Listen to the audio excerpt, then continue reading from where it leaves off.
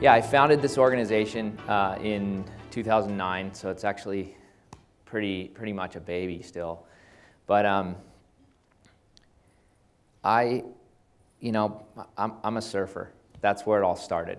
I had selfish motivation. I wanted to go and go back to all the places that I love to surf and uh, find a way to keep going there as my pro surfing career dwindled. And, um, but I was a conscious person raised by a very conscious uh, uh, set of parents. And um,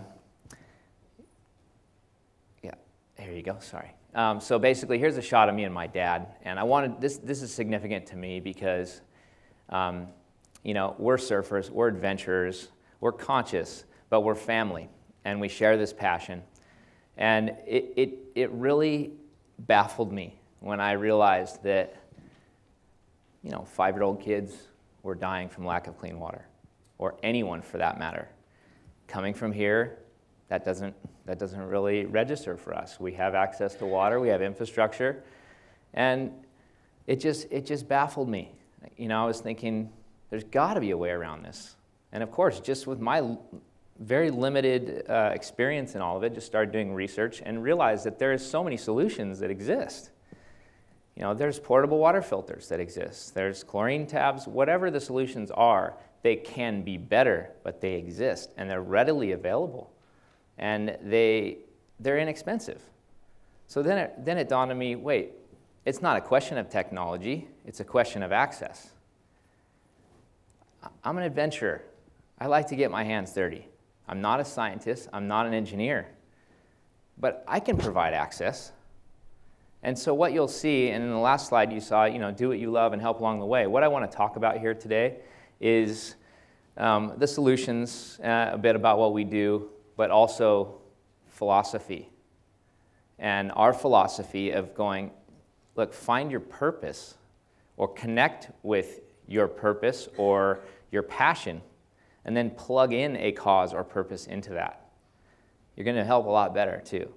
And that's a serious uh, energizing force right there. So um, basically, the vision for Waves for Water was simple provide access to places that need it through various solutions that exist, go in and assess the needs, go into the hardest places to, to, to get into. You know, we worked in Afghanistan and Pakistan, places that nobody wants to go, where the biggest needs are, where the people are slipping through the cracks and you know Haiti and, and Africa, and, and we work in 13 countries at this point. And like he said, we've given access to over 7 million people at this point.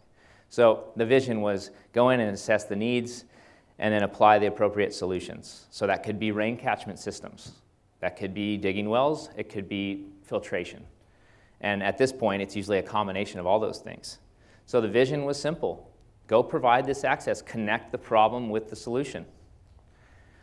Um, what we do, I just sort of touched on that, but basically you can see just a photo. You know, that's, those are just two glasses after a demonstration in Indonesia with taking water that no one would dare drink, that would actually probably kill you, and putting it through a $50 portable water filter that will remove all biological contaminants and make it perfectly potable. I mean, I take the first sip every single time. I'm still here. I'm good. you know, it works. So our organization, we do disaster relief. You know, we, we were there for Haiti, um, Indonesia, Japan, Chile, Pakistan floods. That dictates a lot of what we do. Um, we also do development projects. You know, we worked um, a couple months ago here in America. Our first domestic project was with the Lakota Indian tribes in South Dakota. Um, we have mined their land uh, with uranium mines, and now there's uranium poisoning in their aquifers. And so we're helping them with uh, rain catchment systems, which you'll see a photo of. Um, education, you know, it's the huge part of the program is just educating people, not just on how to use these solutions or integrate them into their, into their lives, but um, sanitation. You know, uh, we can, you know, water is the kryptonite for cholera you know, and, and people don't know that until you teach them, until you say, hey, before you eat, just use this filter to wash your hands, not just drinking water. And of course, I learned this uh, very, I learned all of this stuff as a crash course while I'm doing it. I'm not an expert. But now I feel like, wow, I have a pretty good view on this. And you know what? This problem is completely solvable in our lifetime. So, um, development, you know, same thing. This, is, this was the, with the Lakota Indian tribes.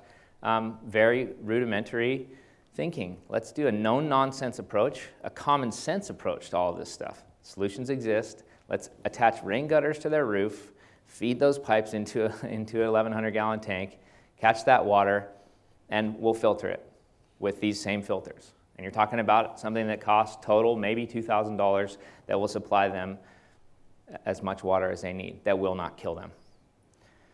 So, the way I think, uh, what, what I think um, separates us from a lot of other organizations, and, I, and I've come across amazing organizations out there. This is a really great time to be, to be an activist. Um, but you know how we do it. Um, again, guerrilla humanitarianism.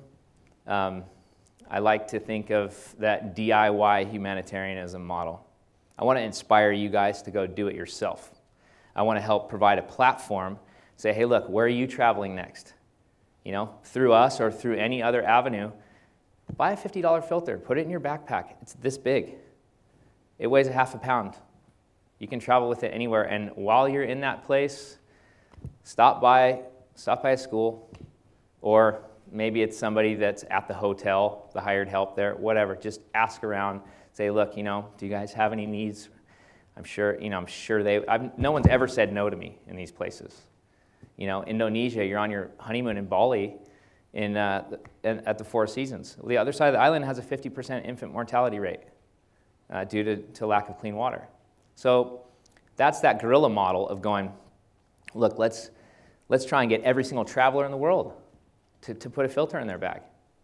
And that's the viral model. And then Waves for Water as an organization will come, come and keep trying to do big, uh, big partnerships where we can take big chunks out of the problem with uh, corporate partnerships, with uh, big organizations. Um, and the unique style here, this is just, this is who I am. And I've applied all of this lifestyle to the work. I like to go do what I love and help along the way. I like to surf. I like to climb mountains. I, these are the things I like to do. Well, why can't we help the Peruvian Q'ero villages in the Andes Mountains who don't get any love in the process? And that just makes me, me better at what I'm doing. And so, if anything that you can take out of this is just to, I really, I really am inspired by, by this, this philosophy of going and doing what you love to do and helping along the way. So, to make that point, I want to play a little video that will sum up most of what I've talked about and really, I think, get, get the point across of, of uh, this philosophy. So.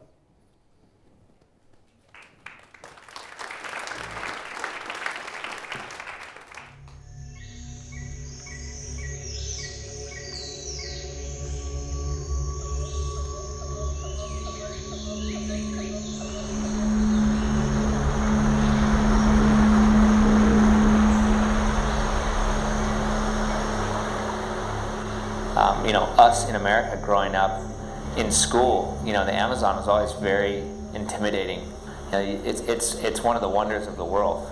And I don't think the people here really understand the communities in that area and what their needs are.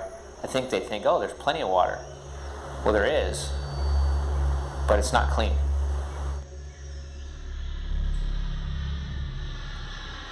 Crazy thing about this trip is the the length it takes to get from Los Angeles to your final destination, which is uh, right at the mouth of the Amazon River.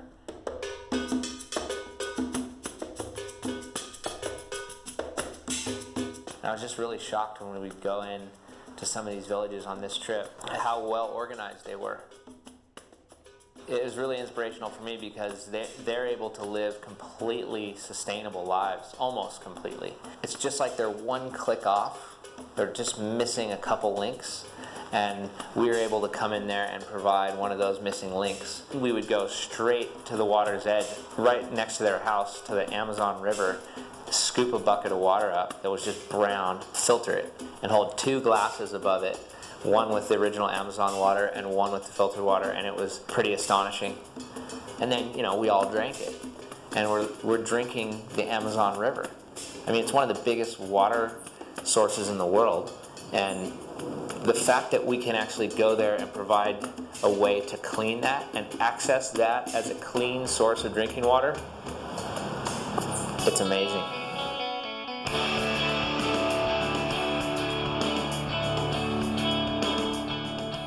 Point of this mission was really, really simple. It's go to an area that you know there's a need, show that need, and also show the solution. And then as the icing on the cake, go surfing and go have fun and, and ride this tidal wave in the Amazon River, you know, this worldwide phenomenon.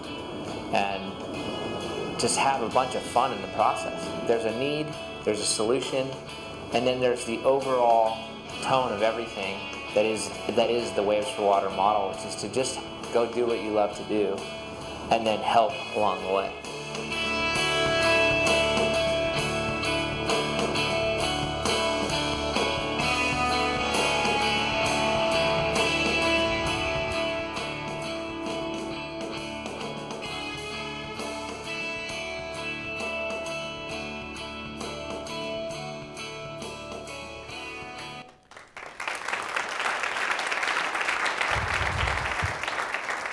Thank, thank you. I just want to say one more thing. Um, you know, I've shared with you uh, some, something very inti intimate to me, and this is my philosophy, but the notion that a philosophy like this can't be scaled and make huge impact is just wrong. So go do what you love to do, help along the way, and make a big difference, because you can. So, thank you.